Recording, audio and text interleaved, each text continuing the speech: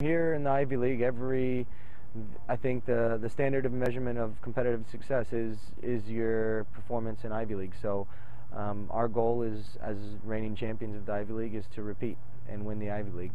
Um, so we would hope for a little more momentum going in the Ivy League in terms of wins and losses, but um, there are some positives in the sense that we're back to full health as a team, um, and I feel like we're creating more offensive, uh, much more offensive production um, amongst our team right now. So I feel that we're we're actually in a pretty good place. Um, confidence aside, hopefully we can we can get get rolling and, and, get a couple of positive results. I think hopefully we respond very positive. Um, we get to play on our home field um, where we won the Ivy League title last year, so we obviously have a lot of good memories there. Um, and Yale plays on turf, um, so I think that playing on here can be an advantage for us if we make it that way.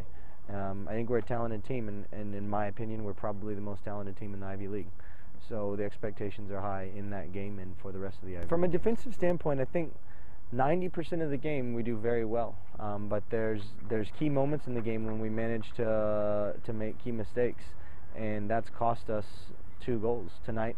Um, tonight, I think Providence College had four opportunities on goal, and, and two of them were quality finishes. So you can't make um, mistakes at big moments in the game and expect uh, to win the game. I think we're a team that's good to score one to two goals a game, and that should be enough to win the game if you're doing your job defensively.